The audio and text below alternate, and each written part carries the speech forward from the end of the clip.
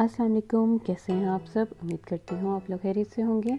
आज मैं आप लोग के साथ जो रेसिपी शेयर कर रही हूँ, वो बहुत ही मज़ेदार सी रेसिपी है। बकरे के पाए तो चलिए रेसिपी स्टार्ट करते हैं।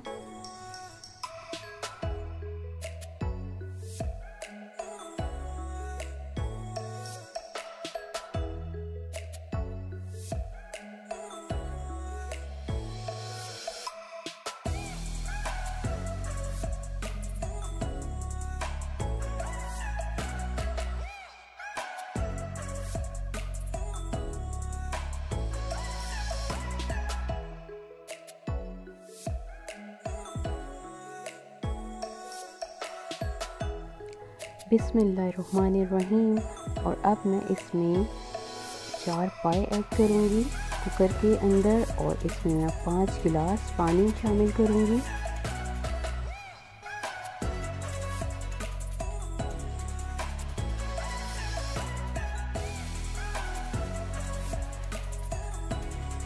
और अब मैं इसमें थोड़ा सा गर्म मसाला ऐड करूँगी। एक तेज़पात पत्ता लिया है और एक दालचीनी की स्टिक। दो सब्ज़ इलायची, तीन से चार लौंग, एक बड़ी इलायची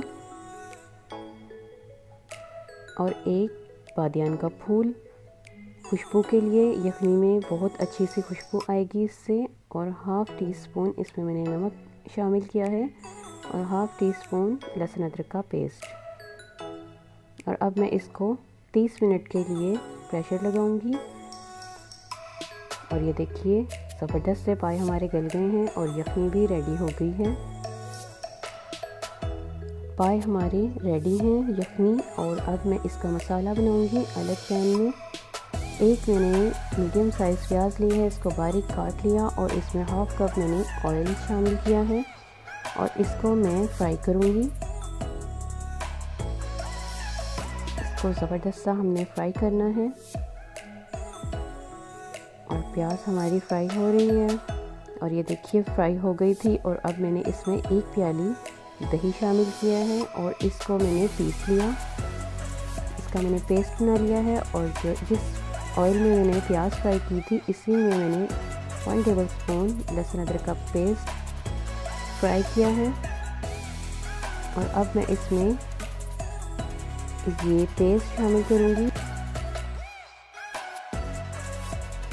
जीवर्स प्याज और दही का जो हमने पेस्ट बनाया है, इसको मैंने शामिल कर दिया है इसमें। और अब हम इसकी ज़बरदस्त सी बुनाई करेंगे।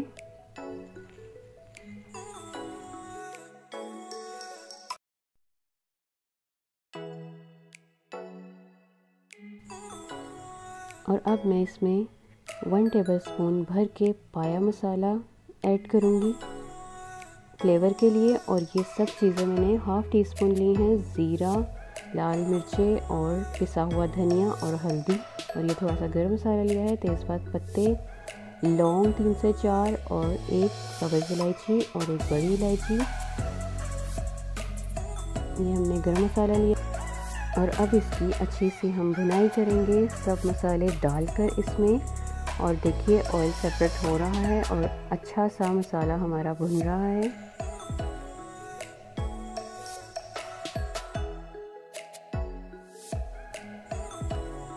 मसाले की बनाई देखिए, ज़बरदस्त सी हो गई है और अब मैं इसमें पाए शामिल करूँगी और पाए को भी हमने पाँच मिनट के लिए भूनना है मसाले के साथ।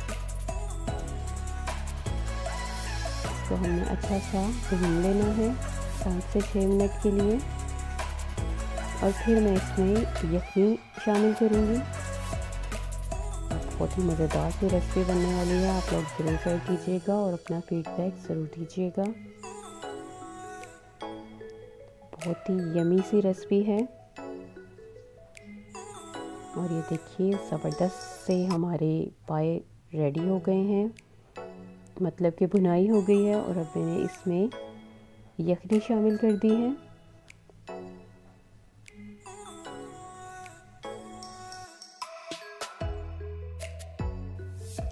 और यखनी डाल के मैं इसको अच्छी तरह से मिक्स करूँगी।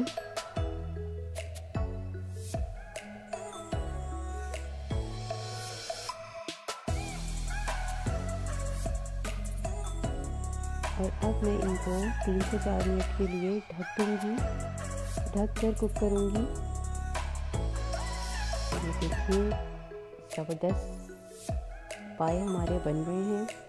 अब मैंने इसमें हाफ़ टी स्पून नमक ऐड किया है। हाफ़ टी स्पून पिसा हुआ गर्म मसाला और हाफ़ टी स्पून इसमें मैंने काली मिर्चें पिसी हुई काली मिर्चें ऐड की हैं और इसको मैं अच्छी तरह से मिक्स करूँगी।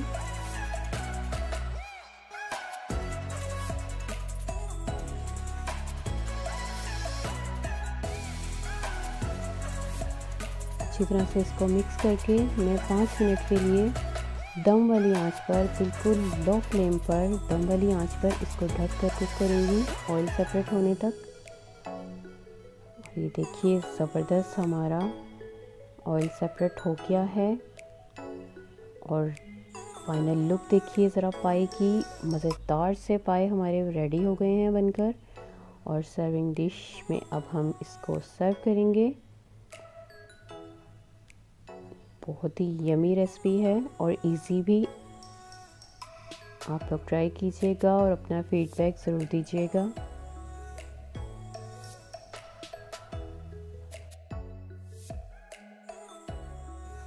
और अगर आप मेरे चैनल पर नए हैं तो मेरे चैनल को सब्सक्राइब कीजिए लाइक कीजिए और शेयर कीजिए।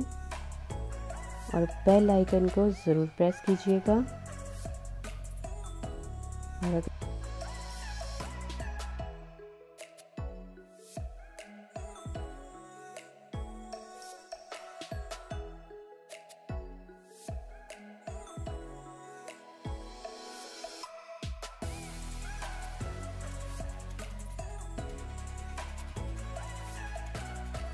और मुझे दुआओं में याद रखिएगा। नेक्स्ट रेसिपी के साथ हाजिर होती हूँ। तब तक के लिए अल्लाह हाफिज़।